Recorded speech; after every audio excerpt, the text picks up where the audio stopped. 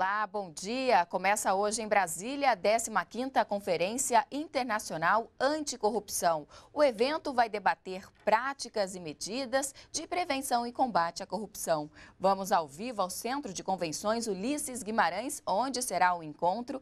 Lá está a repórter Carolina Monteiro. Bom dia, Carolina. Bom dia, Malu. A 15ª Conferência Internacional Anticorrupção, que tem início hoje, vai até o próximo sábado, dia 10 de novembro. Participam lideranças políticas e representantes da sociedade de vários países. Eles vão se reunir para trocar experiências, discutir e traçar estratégias para combater a corrupção.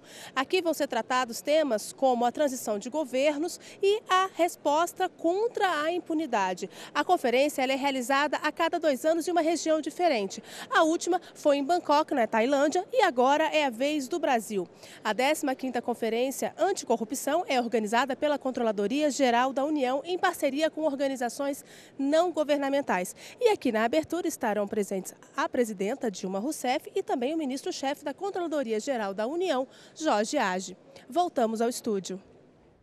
Obrigada, Carolina. E daqui a pouco a gente volta com outras informações sobre a Conferência Internacional Anticorrupção. Continue na NBR, a TV do Governo Federal.